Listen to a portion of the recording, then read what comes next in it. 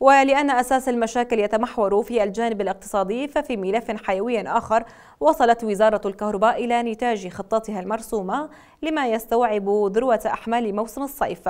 وقد أكد الناطق الرسمي باسم الوزارة أحمد موسى أن الوزارة وصلت إلى ما يقارب من 24600 ميجاوات كنسبة تعد أعلى من المتوقع.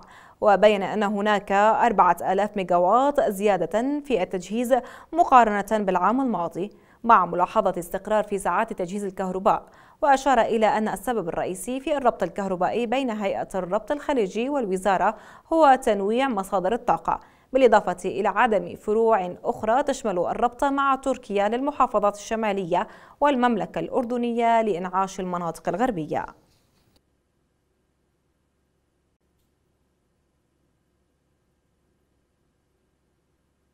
بداية سرنا بخطة سريعة وآنية وكانت تستهدف ذروة أحمال الصيف وكانت عبارة عن إكمال جاهزية قطاع النقل بمحطاته ووحدات التوليدية معالجة اختناقات خطوط النقل تأهيل تدعيم قطاع التوزيع.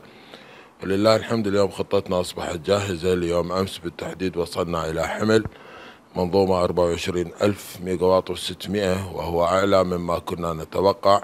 مع لحاظ أن هنالك انحسار لإطلاقات الغاز المورد لصالح المحطات. هنالك لدينا اليوم وحدات توليدية نوعا ما متوقفة بسبب شح الغاز.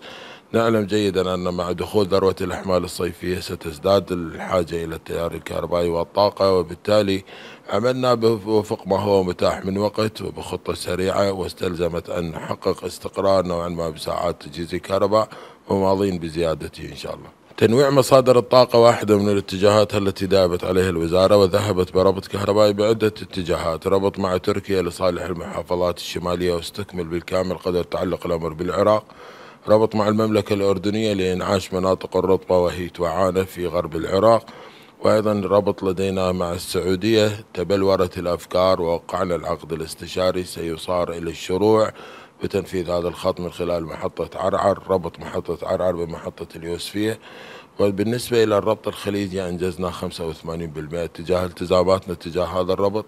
قبل أسبوع حضر السيد وزير الكهرباء مناقشات مستفيضة مع هيئة الربط الخليجي لإكمال إنشاء خط يربط محطة الوفرة داخل الكويت بمحطة الفاو داخل العراق لتصبح المرحلة الأولى بواقع 500 ميجا واط واصلة وجاهزة لمحافظة البصرة. الآن يجري العمل على إكمال ما عليهم من الالتزامات ليصبح الربط جاهز الربط الكهربائي سيحقق وثوقية استقرارية للشبكة الكهربائية سيحقق تبادل منفعة الطاقة سيؤسس لدخول العراق عضوا مهما بسوق الطاقة.